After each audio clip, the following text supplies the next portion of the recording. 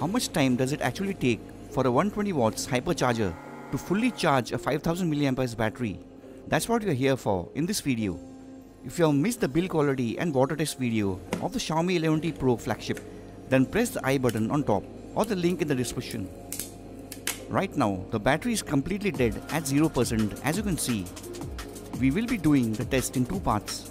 First from 0% dead to 100%, then in the later half from 20% to 100%.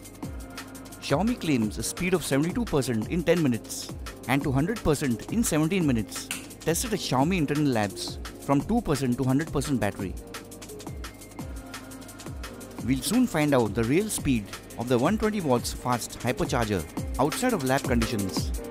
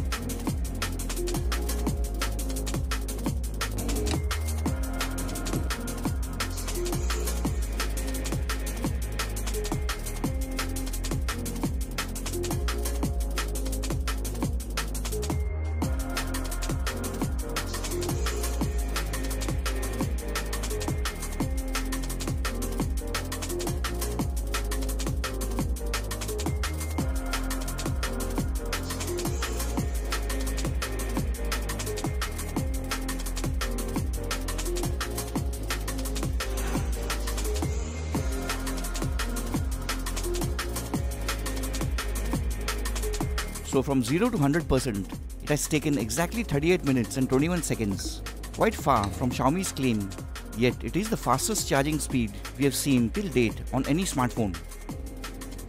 Next, for the second round of speed testing, will there be an improvement in charging time if we start from 20% battery capacity?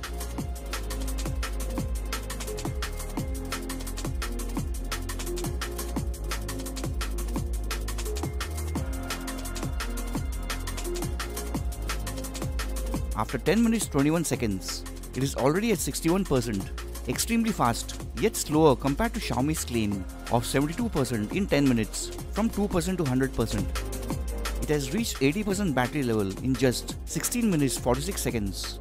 Very impressive speeds in case you need to charge a phone in a hurry. Moving on,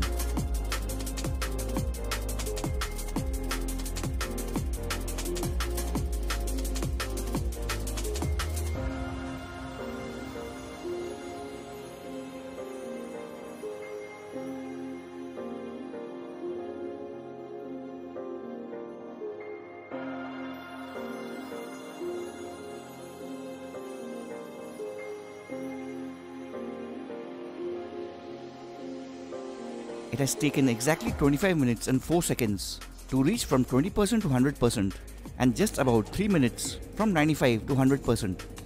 The actual charging speeds are nowhere close to what Xiaomi claims in its lab tests. But the Xiaomi 11T Pro 5G is still the fastest charging Xiaomi device in the market and one of the fastest charging phones of this year.